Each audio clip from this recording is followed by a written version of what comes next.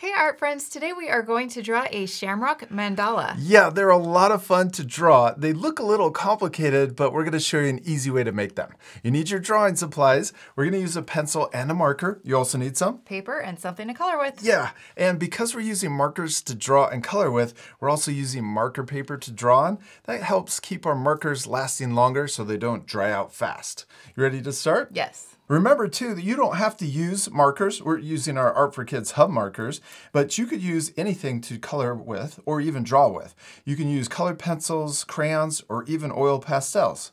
Let's first start with our pencil. This is so we can draw the general guidelines or the general shapes of our shamrock before we start with the markers. So first, let's draw a little guide point in the middle of our paper. I'm gonna press kind of hard so it's easy for our art friends to see it, but you can press lightly so that it's easier to erase. Next, we're gonna draw a center line for the first leaf. I'm gonna draw it straight up. Then we're gonna draw the center of the other leaf coming out to the left and also out to the right. You could just draw a straight line through if you want it. now we're gonna draw the stem and we're gonna draw it coming down like this. I'm gonna draw it curved. Nice. Now actually, let's bend our leaves down a little bit on each side. So we're gonna draw these diagonal coming down further, and then let's erase the first lines that we drew going straight out. That's the nice thing about using a pencil is we can change the lines any way we want and then erase any of the lines we don't want to keep. Now that we have those extra guidelines erased, we also want to make sure that these lines are roughly the same size. We want each of our leaf to be equal in size. Now you could use a ruler to measure, but we're just using our eyes to guess. Now let's start at the top of this guideline, and we're going to draw the first shape of our leaf or the outside shape of our leaf. So we're going to start here and we're going to draw, it's going to look like a heart.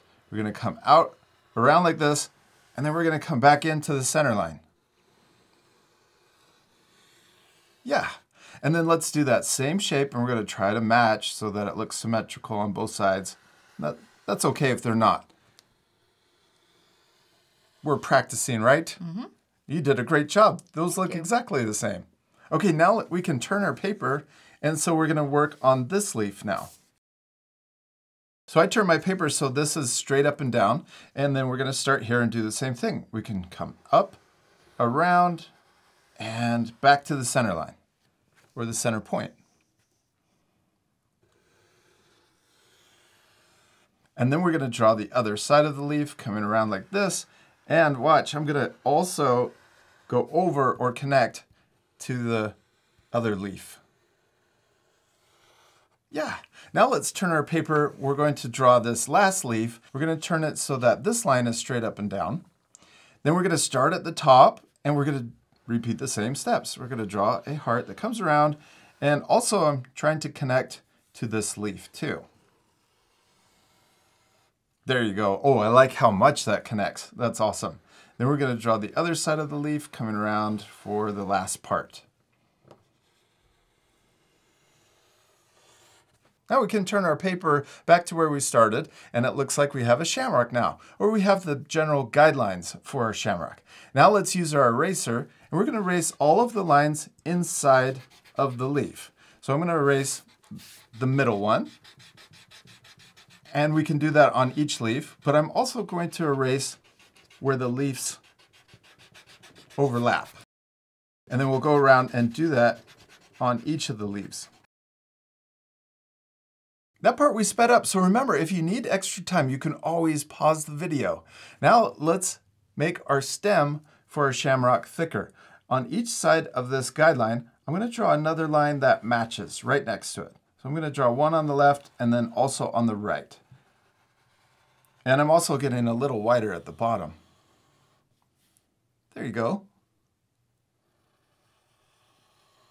Perfect. And then at the very bottom, we can also connect those two lines together. And let's use our eraser to erase the leaves up here and also the center guideline.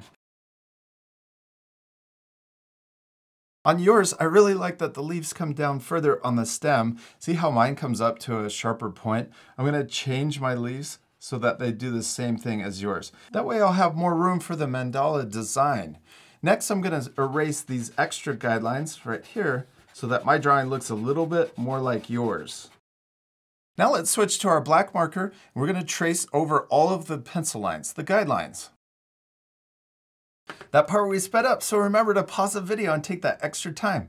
Okay, let's also use our eraser to erase any of the pencil lines that we can still see. That's a really fun way to make a shamrock. Yeah, I really like using pencil first to get all of the shapes just right before we use the marker.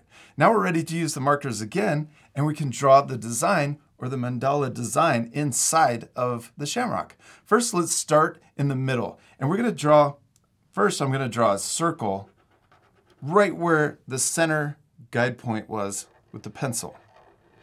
And you could also change your design any way you want. You don't have to do it exactly like us.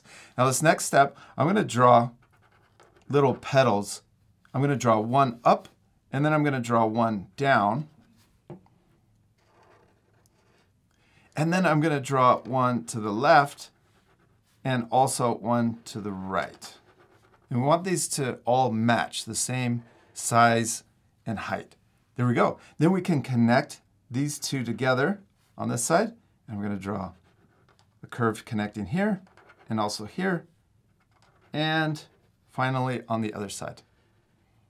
There's our first row of design. Now we can draw another design on the outside of this one. You can change it any way you want. I'm gonna add more petals. So I'm gonna draw them like this, but I'm also gonna go all the way around. So these are a little bit smaller. And we're going to go all the way around till we start or finish where we started.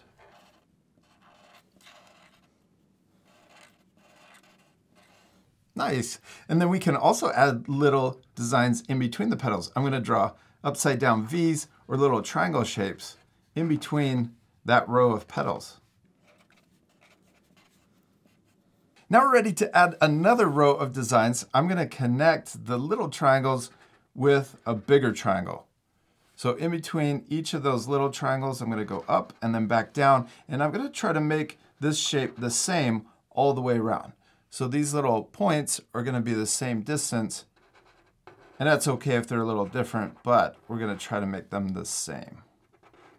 This is pretty fun, right? It is. Yeah, and you can change this any way you want too. You don't have to draw the exact same design. And also, you can do this lesson all over again and completely change it. Oh, that looks really cool. You can add two more. Oh, I like that you're turning your paper too. That might make it easier, especially because this we're kind of going in a circle. So now I'm going to draw little curves in between those triangle shapes. Go all the way around until we end where we started. And it should look like a circle that's getting bigger and bigger as we add more rows of design. Okay, now I'm gonna add even bigger petals this time. I think I'm gonna connect, see how I'm connecting and going over the triangle shape this time, connecting those little curves. Oh, look at this. I'm going through the first petal right here. So as we get bigger and we get into the outside shape, we want to make sure that we don't draw through the shamrock. Now I'm going to add really small petals in between like this. So in between those big petals, I'm going to draw smaller petals that are more narrow and taller.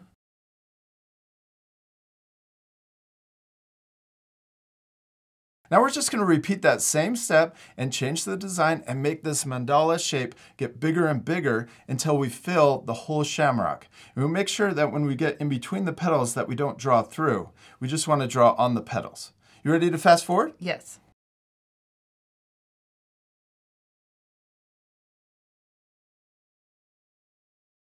Well, that was kind of tricky and it took us a little while, but hopefully you guys pause the video so that you could take time to finish and fill in your shamrocks. Now we're not completely done, right? Nope, we still need to color it. Yes, this is my favorite part. And we are gonna fast forward again, so remember to pause the video and take that time to color in your drawings too. Now when coloring, we're gonna pick a bunch of different greens and we're gonna try to color the same row with the same color of green. So maybe we'll pick out the colors first, and then we'll do a couple rows, and then we'll fast forward.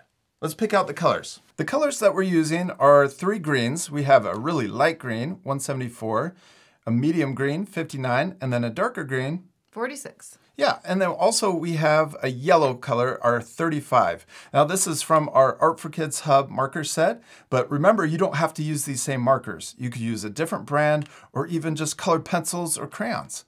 Okay, now let's start with our first color, and let's start with our dark green, 46. And I'm gonna use the fine tip, and we're gonna color in that first circle. It's so dark it even looks black. Mm -hmm. And then I'm gonna also color in, let's pick another row. I'm gonna pick this one. And I'm gonna color the whole row in with the same color. The reason why we don't want to um, mix the colors on the rows is this is going to give it that really cool design pattern. And once you finish coloring in that first row, I'm gonna switch to my yellow and I'm going to color in these smaller petals. I'm also trying not to color on top of the black because then it actually turns it more brown. That's okay, right? We're gonna also color in, oh, I'm gonna color in the triangle shapes, the big triangle shapes on this next row. So we can do a couple rows with the same color. So skip a row and then color it with the same color that you have. That way you don't have to switch as many times. There we go, almost got this row colored in. And you could also even add different colors if you want. You could even add an orange or pink. I like that we're keeping it green and yellow because that kind of goes with St. Patrick's Day. Then I'm going to switch to my medium green. And we're going to color in this row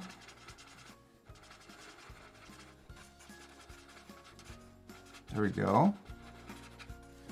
And then I'm gonna switch to the really light green and color in these small triangle shapes. Now that we've colored in a few rows of the design, we're gonna fast forward even more to finish the entire shamrock. You ready to fast forward? Yes.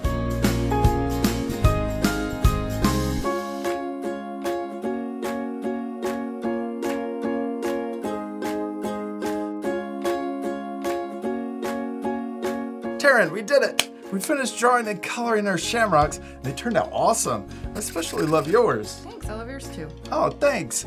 Now, I love how it looks all colored in, especially when we colored each row with the same color. That makes this circular pattern all the way through our whole shamrock. It looks really complicated, but it was really easy to draw.